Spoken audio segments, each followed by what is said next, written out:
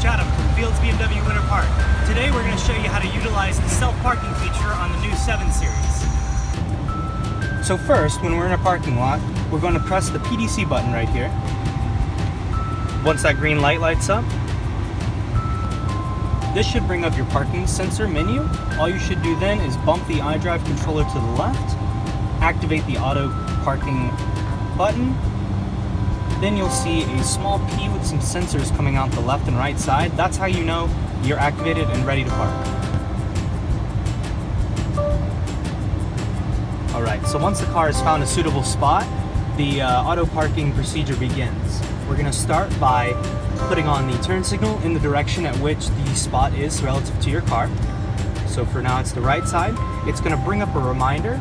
We're gonna hit okay.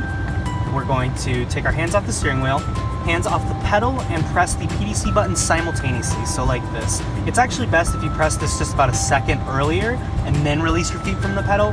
Works for me every time. So you click it here, release here, and then the parking procedure begins. It is good to note too um, that if you don't have your seatbelt on during this procedure, it will ask you to put it on before that first notification. Uh, but other than that, car is going to behave just like it would be if it's parking itself.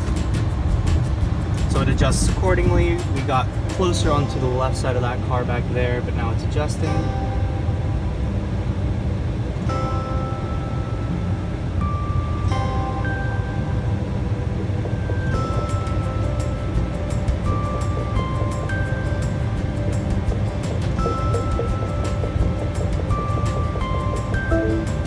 You go, it's completed. Thanks for watching and drive safe. Hello, I'm Dan Fields, inviting you to become a member of the Fields family. When you buy or lease, you also get our free loaners, car washes, and our cafes. All of it. I've used all the above. It's amazing. The service is phenomenal. See Fields first for BMW. Go to fieldsbmw.com.